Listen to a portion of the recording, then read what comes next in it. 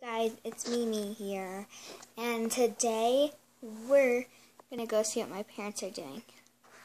Let's go.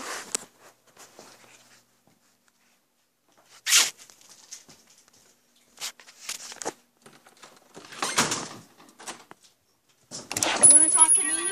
Yeah, hold on. Mimi. Oh. Put, no, put that